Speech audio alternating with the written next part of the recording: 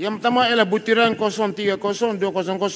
Ini pasal immigration ya Muhammad. Saya ucap tahniah kepada Timbalan Perdana Menteri yang telah dapat uh, pasport antarabangsa. Saya ucap tahniah.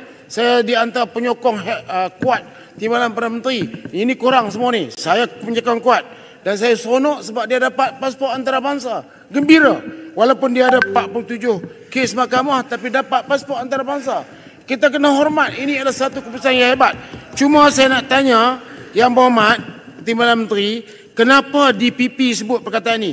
Dapat arahan untuk tidak membantah Abdul Malik bin Ayub. Dia kata dia dapat arahan untuk tidak membantah di mahkamah. Ya Allah, tolong jawab sekejap. Saya tak faham. Yang hormat.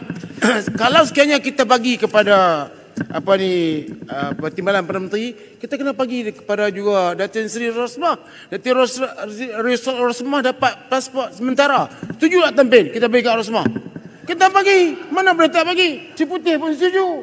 Kenapa boleh bagi kat timbalan Menteri kat Rosmah tak bagi? Kesian kat Rosmah. Dia pun nak pergi. Ni dan juga semua rakyat hello, Malaysia hello. yang lain. Tampin, hendaklah diberi hello. pasport antarabangsa tampin hanya mempercayai dari segi undang-undang. Kalau undang-undang dah putuskan macam tu kita reda lah lah